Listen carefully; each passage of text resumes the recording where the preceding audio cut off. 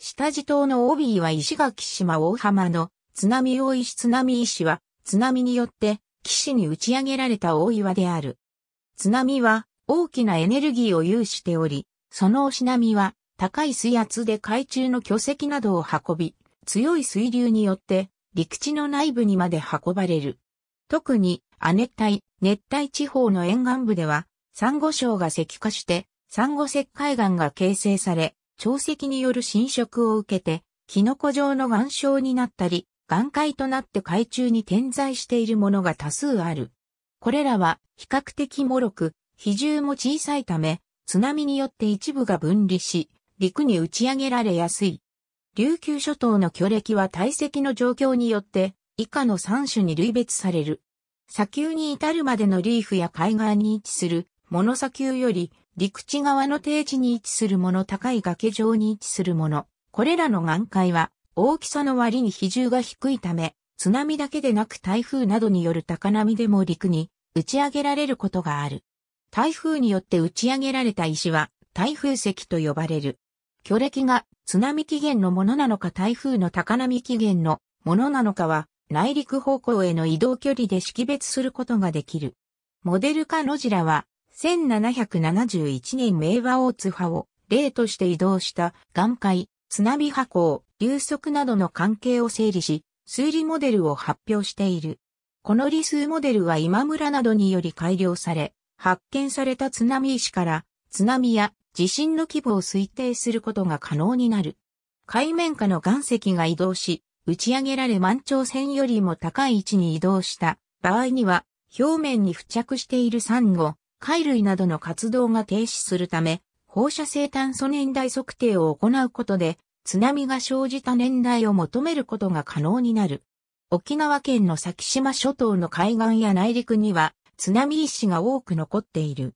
1771年に起きた八重山地震の津波によって海岸に運ばれたり、陸に打ち上げられたと伝えられているものも多く、高コルセ石のようにそれが科学的に検証されたものもある。一方、近年の研究により、先島地方では、明和の大津波以前にも約600年間隔で津波が発生していたことが明らかになっており、津波大石のように、実際には、明和の大津波以前の津波によって打ち上げられたものも多いと見られている。宮古諸島の下地島には、オビーアと呼ばれる巨岩が残り、信仰の対象となっている。また、イラブ島から下地島にかけての沢田の浜にも、遠浅の浜に巨岩が点在し、独特の景観を作り出している。宮古島の東辺名岬でも、岬の大地上や付近の海岸に多数の大岩が点在している。八重山諸島の石垣島東海岸にある津波石群は2013年3月27日付で石垣島東海岸の津波石群の名称で天然記念物に指定された。当初、指定対象となった津波石は大浜の津波大石、大浜の高コルセ、石、井野田の天たりや牛港、平久保半島安らにある安ら大金の計4つで2013年10月17日付で伊原間のバリー石が追加指定されている。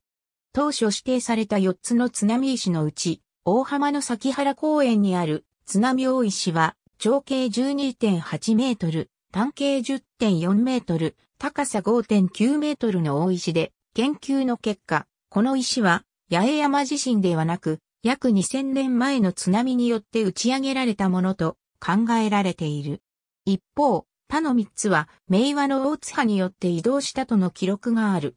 また、追加指定されたバリー氏も、明和の大津波によって移動したと推定されている。津波石の多くは、サンゴ石灰岩であるが、安ら大金は、流門岩で、鉄分を多く含んでおり赤く見える。津波石が打ち上げられるのは亜熱帯や熱帯ばかりでは、岩手県田野畑村のラガ地区の海岸から約360メートルの地点には、1896年の明治、三陸地震の津波で運ばれた2つの津波石がある。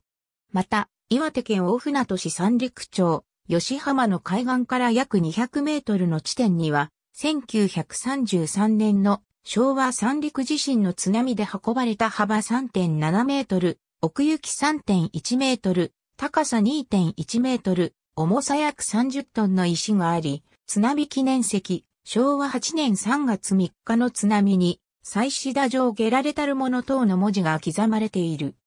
2011年3月11日に発生した東北地方太平洋沖地震の津波でも、岩手県宮古市太郎地区の接待川川口から約470メートルの地点に幅約6メートル、奥行き及び高さ各約4メートル、重さ推定140トンの巨石が運ばれた例がある。和歌山県串本町には東南海地震、南海地震で生じたものがある。